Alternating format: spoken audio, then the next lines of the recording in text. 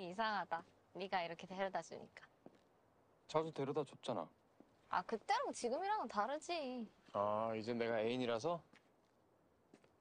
넌 참 특정 단어들을 주의하지 않는구나. 넌 특정 단어만 주의하고? 그렇다면 내가 이쯤에서 서슴없이 이런 멘트를 해야 되나?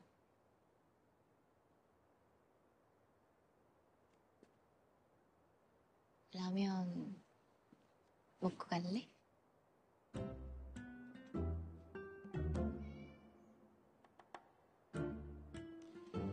난 먹지도 자지도 않아. 아, 진짜 그게 아니잖아. 너 내가 진짜로 받아치면 곤란할 텐데. 와, 얘 진짜 무서운 애네.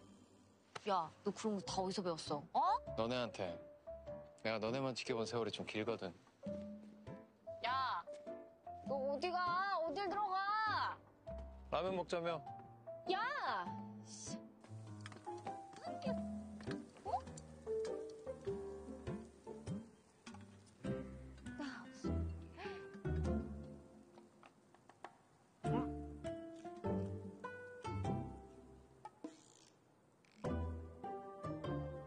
삼겹살 먹고 갈래?